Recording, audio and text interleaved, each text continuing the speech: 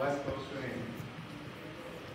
So the first pattern we did is progressive walk. One, two, three, and four, five, and six. Lady walk on straight line. Gentlemen gradually go off, off track. One, two, three, and four, five, and six. The one, one option she can do is she go track too. One, two, three, and four, five, six. Right, that's the first pattern. Uh, second pattern we did was, uh,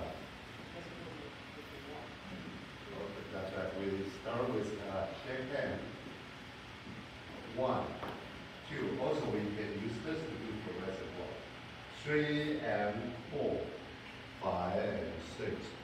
One, two, three and four, five and six and one.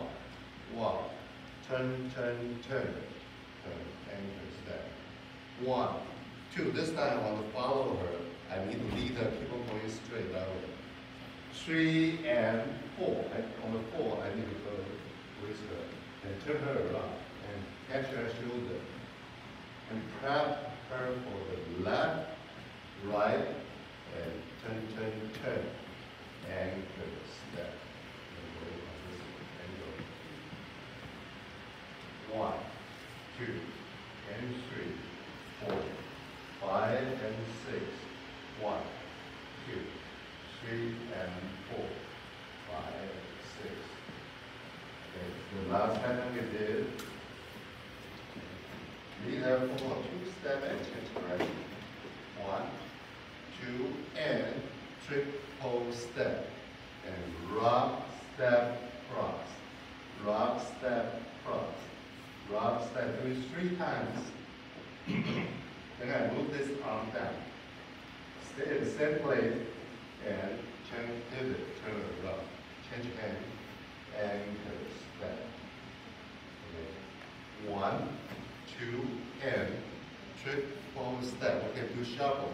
Is side, together, cross. Side, together, cross. The third one, go down. Finish this, and go down, and turn around, and step. Okay, one more time. One, two, triple step. Cross step, cross, you can let go one hand. Just one hand. Finish this, go down first, and go